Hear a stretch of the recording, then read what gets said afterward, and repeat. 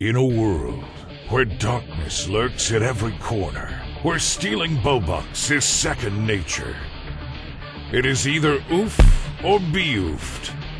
But as luck would have it, four heroes stood up to face the evil. Ren Brightblade, Take another step, and don't blame me for what happens next.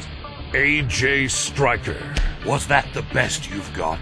I'll show you why they call me Cyborg. Cyborg Cannon! Sparks Kilowatt, Hello! Picking on little people is not nice, mister. This might hurt a little. Thunderbolt!